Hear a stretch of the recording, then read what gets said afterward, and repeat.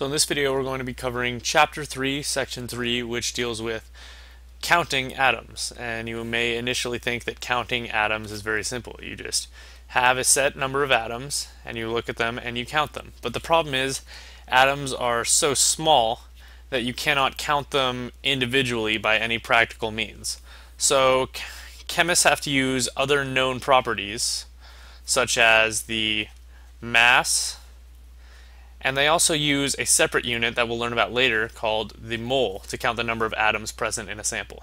So just to cover the basic vocab that we'll be discussing during chemistry, uh, if you look at a periodic table you'll notice that each element, let's say hydrogen, has a number above and some number below it. The number above it is what is known as the atomic number and that is the number of protons and because atoms are electrically neutral, also the number of electrons present in any given atom of hydrogen.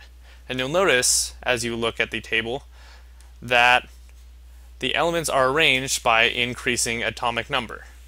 So for example, you could move on and you'd see that helium is element number 2 and therefore has two protons and two electrons. Moving on now we're going to be discussing isotopes. Now, while elements, let's say all elements of hydrogen, which is element number one, they all have this one proton, they do not necessarily have the same number of neutrons. For example, hydrogen can have zero neutrons, or one neutron, or two neutrons. And each of these are what are known as isotopes of hydrogen. That is, they have the same element, they have the same number of protons, but a different mass.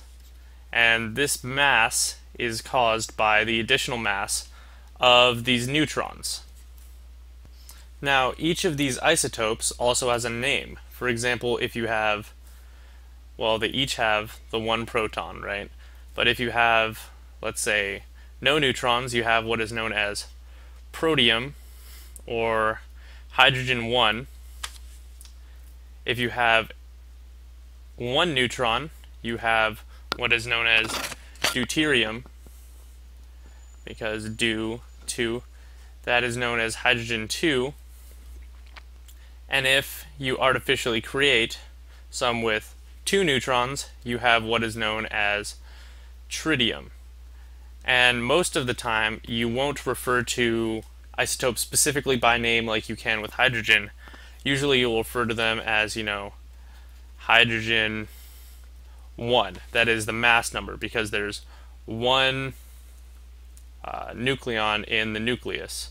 Whereas with deuterium, you would be referring to hydrogen 2 because there's two uh, nuclear particles in total, that is, the neutron and the proton. Now, the mass number of an isotope is simply the number of protons plus the number of neutrons, because for all intents and purposes, these weigh roughly the same, what is known as one atomic mass unit, with a little bit of, you know, some decimal variation way down the line. So for example, protium, which has just the one proton, would have a mass number of 1, whereas deuterium, which has the proton plus the extra neutron, would have, you know, 1 proton plus one neutron would give it a mass number of 2. So there are two main ways of designating the differences between isotopes, and the first of those is what is known as hyphen notation.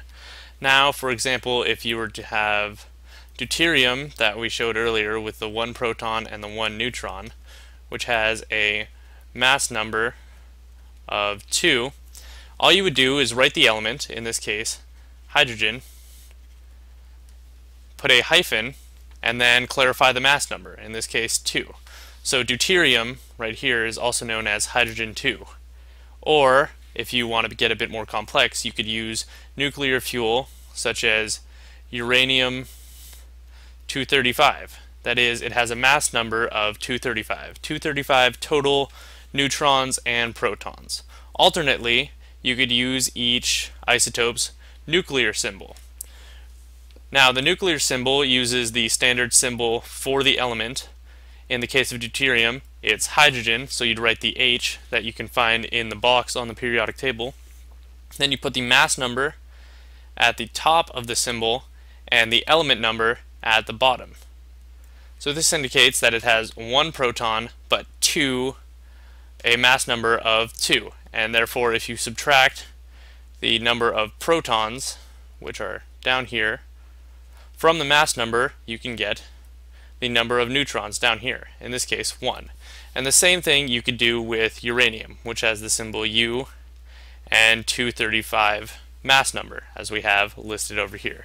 Now uranium is element 92, I'll save that so you don't have to look it up. But when you subtract, you can find that uranium has a total of 143 neutrons, just by knowing the element's mass number and its atomic number. Now because the masses of individual atoms are minuscule, they're something like 10 to the negative 23 grams, chemists have decided to use a relative system for measuring atomic mass. That is, they choose one atom, in this case carbon 12, as the standard to set the atomic mass unit, or AMU. What this means is that internationally, chemists have decided that the isotope carbon-12 has a mass of exactly 12 atomic mass units, and all other isotopes are measured relative to this. For example, oxygen 16 has a mass of roughly 16 atomic mass units because carbon-12 is composed of these 6 protons and these 6 neutrons. A proton and a neutron weigh roughly one atomic mass unit. So you can see in oxygen 16, which has 8 protons and 8 neutrons, you'll get a total of roughly 16 atomic mass units. And this is true for all elements. Now in case you were curious, while the proton and neutron each weigh about 1 AMU to within about a hundredth of an atomic mass unit, an electron has a mass of about 1 two-thousandth of an atomic mass unit. So electrons are almost massless.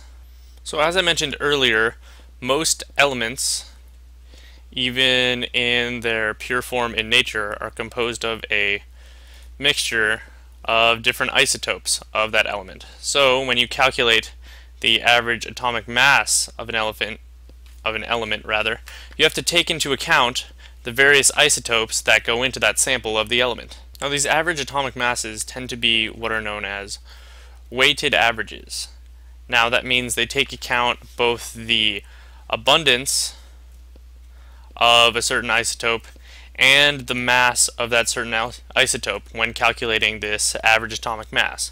So for example, if you were to calculate the average atomic mass of, let's say, copper, well, copper is 69.15%, uh, copper 63 in nature, whereas it is 30.85%, that is the rest, is copper 65.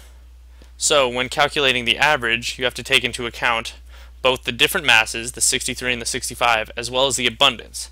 That is, there's going to be a heavier weight towards the copper 63 than there will be towards the copper 65 when you calculate the average. And the easiest way to do this is by converting these percentages into decimals. So first, you would take the 0.6915, the converted percentage, and multiply by the atomic mass of the copper 63, which is 62.93 AMU. And then you would Add that to the relative abundance of the copper 65. In this case, that would be 0.3085 times the atomic mass of copper 65, which is 64.93 atomic mass units. And then, once you do the actual calculation and add both those products up, you get a final average atomic mass of 63.55 AMU. And if you were to look up copper on the periodic table and look below the chemical signal symbol, you would see 63.55 listed. And that's because the average atomic mass is listed underneath the symbol on the periodic table.